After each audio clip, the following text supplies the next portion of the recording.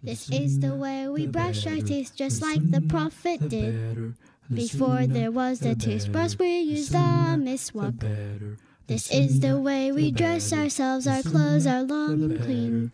We walk and talk and dress with modesty.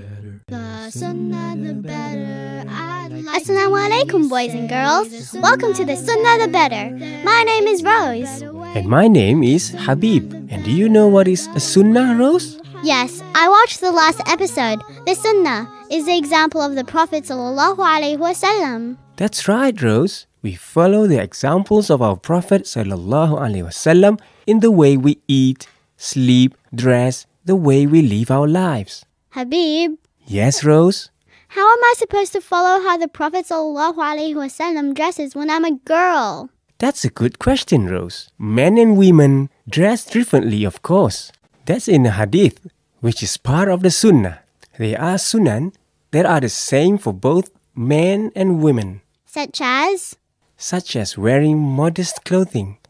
Rasulullah sallallahu alaihi wasallam used to wear simple clothing made of simple material that did not make him stand out.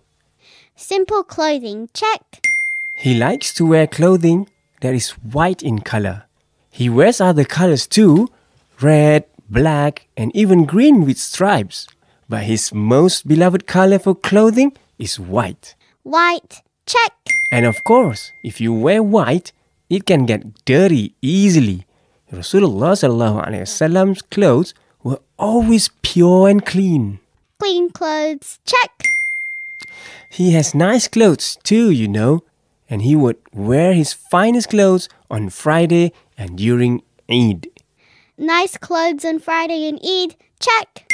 So he wears all sorts of clothing common to the people of his time. But the most important thing is modesty. What's modesty? Modesty is not showing off or wearing nice things simply to attract attention of others. Modesty is more than just what you wear, but how you act as well. So lowering your gaze and speaking softly and not using bad words are also part of modesty. Wow, subhanallah. Modesty, very, very big check. I think we learned a lot from today, and it's time to go. See you next time, boys and girls. Remember, the sunnah, the, The better. I'd like to hear you say, the sunnah, the better. There's another better, the way of Muhammad, the Prophet of Allah, Salatullah, Salamullah. Salatullah, Salamullah, ala Taha Rasulillah.